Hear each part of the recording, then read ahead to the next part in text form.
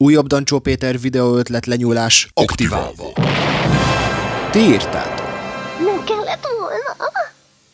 Igaza van, nem kellett volna. Hangszín az jó, de a színészi játék kb. nullával tendál. Csak szimpla felolvasás, semmi több. Ezzel amúgy nem fogok vitatkozni, egyetértek. Akármennyire is fanból készült ez az egész szinkron, nem tudom megütni azt a külföldi szintet, amire már nagyon régóta vágyakozom. És lehet, hogy ezzel így már az alternatív Wings színba sem fogok már bekerülni, ez is fix, de ennyi kreditet azért Léci engedj már meg nekem. 1. Miért nem rajzolsz? 2. Hol van a Coffee per Patreon oldalad?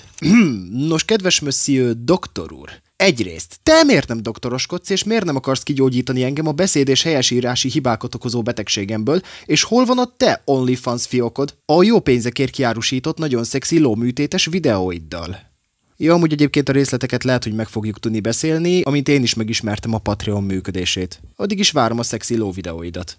Nos, azt kell, hogy mondjam, hogy azóta, hogy kiraktam azt az ominózus Puzsér videómat, ez az eddigi legkomolyabb komment, amit ezzel kapcsán valaha kaptam. És ezt úgy mondom, hogy mostanában én is kaptam elég negatív kritikákat Puzsérral kapcsolatban, így hát főleg emiatt is igyekszem mostanában kellő óvatossággal követni az ő tartalmait. Ezt a kommentet viszont mindenképp szeretném közkincsé tenni, emiatt a kis érdekesség miatt. Úgyhogy mostantól kezdve téged is komoly szemmel tartalak majd. Ami nem öl meg, az megerősít. Ami nem hiszem, hogy megerősít, az erőltet. Ami erőltet, azt meg mindenki alapból leszarja. Így születik a mindenbe beleszaró ember a földkerekén. Mint egyértelműen bölcsészetet tanult, leendő Patreon követőm, megteszlek téged kulturális miniszteremnek, és te rád fogok majd bízni egy nagyon különleges feladatot, hogyha egyszer végleg elhagyom ezt az életnevezetű platformot. Arra szeretnélek írni, hogy jól őrizd meg ezt a szöveget, mert azt szeretném, hogy ez a felirat legyen a sírkövemre írva. Kösz-kösz! Még szerencse, hogy létezik Anger Fist Veszőpont, az ilyen 90-es évekbeli megszállottak alávaló. Meg úgy egyébként egy fasza harc stile mix mehetne egész videó alatt. Ez a rajzfilm vagy mi már amúgy is 20 éve lejárt. Akarj már le erről a retrospektív szarságról, havi. Hadd javítsalak ki, hogy az a szarság idén lesz 30 éves, és ha bár jól látni, hogy igazi hardstyle rajongó és vérbeli rajzfilm gyűlölő vagy, jól látni azt, hogy te miattad minden színes lesz. Az Animánia videóm komment szekciójában. Tisztára, mint Siporka, hebrencs! legalábbis hasonlít kinézetben ő rá. Nos hát, kultúrminiszterem, te vagy valóban a csatornám legélesebb fiókja. De egyébként nem tudok vitatkozni ezzel sem, főleg mivel más érdekes tartalomgyártóktól szintén megkaptam ugyanezt a kommentet, és azt hiszem van is rá egy elég egyértelmű magyarázatom. A film hasonlósága a Disney filmekhez nem véletlen. A készítők a Wehrmacht általa megszállt területeken lefoglalt amerikai rajzfilmek alapján dolgoztak. Magyarán ez azt jelenti, hogy Heil Cézár! Heil! nagyon nehéz a lebencsleves elfogyasztása közben különösebb gondolatokat kifejteni, de imádom, hogy ez egy őszinte videó, érdekes világnézeti gondolatokkal, stb. Legalább olyan őszintén le tudtam nyúlni ezt a formátumot egy olyan szinkron színésznőtől, aki közelebb áll a világhoz, mint amennyire én soha nem leszek. Viszont tudod, hogy mi az, ami igazán nehéz? Julius Andan könyvet kiolvasni, miközben csípős rámenteszel. Ez csak azért, mert benne van a bakacslistámon. Viszont, hogyha már itt tartunk, Manin imád másokat lejáratni, meg megjátszani a megmentőt. Néha jogos maga a leleplezés, lásd, a subway gyerekek, de azért szétnézve a videói között találunk érdekes dolgokat. Nekem sincs különösebb bajom Maninnal azon túl, hogy én is látom, hogy kezdi erőltetni azt a karaktert, amivel gyakorlatilag streamel nap mint nap. Viszont ami nálam mostanában egy picit kicsapta a biztosítékot, az a rumpos sketche, amiről maga a rump is beszámolt már. Úgyhogy én úgy vagyok vele, hogy amennyiben nem lesz egy rump és Manin crossoveres cringebait podcast, addig továbbra is durcis leszek rá. Na mindegy, erről ennyit. Úgy köpködi a tényeket, mint tudjuk ki mit. Nos, amennyiben sűnről van szó, úgy óvatosabban különben eljön érted az Ádám. Viszont, hogyha más nem enged meg, hogy egy örök igazsággal ajándékozzalak meg téged. A valóságnak semmi köze a tényekhez. Ajjaj. És lehetne még a sisű dalából mesápot is tudnál csinálni? Kedves Jetix Hungarikum, emlékeim szerint írtam már neked, viszont amennyiben még mindig nem tudsz leszakadni erről a dologról, nos... Örömmel fogom majd megnézni a te videódat a te csatornádon. Ez viszont itt az enyém, és a magam képére formálom. A főriket meg kell ölni. Nos, nem vagyok abban a pozícióban, hogy ide idézzem csak úgy Radics Péter doktor urat, viszont amennyiben mégis megvalósul ez a dolog, úgy javaslom, hogy addig gyorsan vedd fel ezt az ötletedet a Kremlnél is. Ők biztosan elfogadják ezt a liberalizmus elleni gondolkodásodat. Köszi a rémálmokat. Bármikor számíthatsz rám, ha esetleg újból szépeket álmodnál, Xplósi mindenhol megtalál. Hallod, a csaj 10 év alatt szedett fel kb. 30 ezer feliratkozót, hagyjátok veken. Vicces Hanna-Barbera hangeffekt azt hiszem.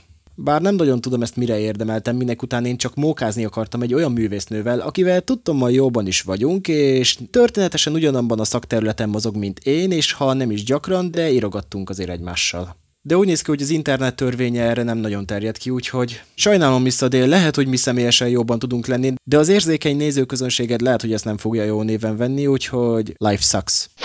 Hiéna mentalitás.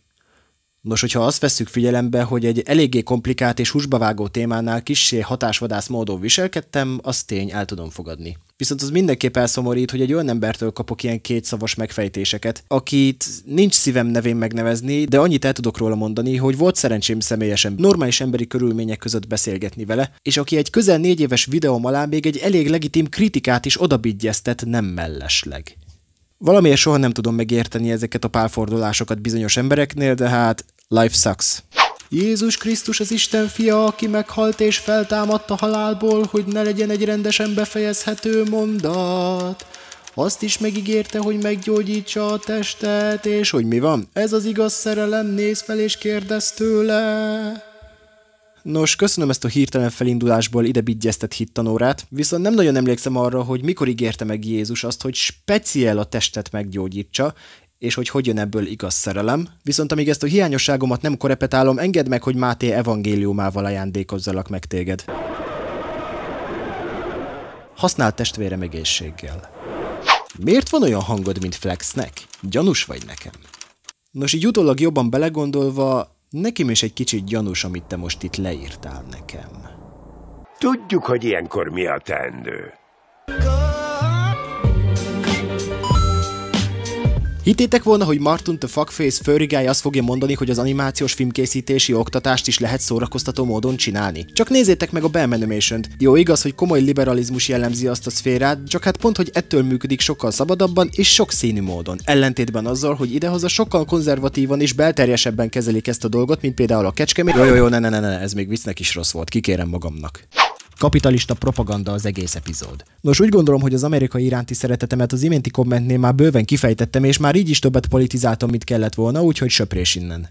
A vók kimaradt. Mi a franc? Mindenki csak politizálni jön az alapvetően szórakoztató funkciót betöltő csatornáim alá? Amúgy erről speciál nem én tehetek, ezt inkább az eredeti paródia videó készítőjénél kért számon. Én csak a magyar szinkront adtam hozzá egy alapvetően szemmel látható világjelenséget szemléltető paródia videóhoz. Viszont látom erről az aktuál politizálásról nem tudtok leszállni úgy, hogy talán még egy utcsó belefér. A csanád Elmó szerintem jobb miniszterelnök lenne, mint a Szűz Márkizai Péter vagy Orbán XD. Nos, amennyiben megvalósítja a Szopa állarc hadműveletet, kilátással egy a Kossuth téren kialakított nudista strandra, akkor én benne vagyok. Úristen, már megint egy komoly dolgozatot kaptam így lezárás gyanánt. Most mondhatnám én is a hegyi beszédet, hogy a korszellem itt is, ott is megfertőzte a rajzfilmgyártást. Én mégis azt tudom mondani, hogy nem baj, hogy vannak ilyen észrevételek, mert ezekből szintén érdemes tanulni vagy merítkezni, csak az a gond, hogy én nem vagyok erre a tökéletes beszédpartner. Ezeket tényleg már csak szakértő közreműködésével lehet jobban megfejteni. De én azt mondom, hogy ha egyszer lesz egy független podcast, csupa politizáláshoz értő rajzfilmgyíkkal, akkor én abba biztos, hogy bele fogok hallgatni. Most a magam részéről legyen erről ennyi. Ja, de még valami. Ez az ember tiszta olyan, mint a régi dancsó, ugyanaz a poénkodás, ripacskodás és kibeszélés viccesé téve a témákat. Végre elértem legnagyobb életcélomat, és végre nyugdíjba vonulhatok. Ha csak ezt nem úgy értem, hogy... Az üzenet megsemmisíti önmagát. Jajjaj.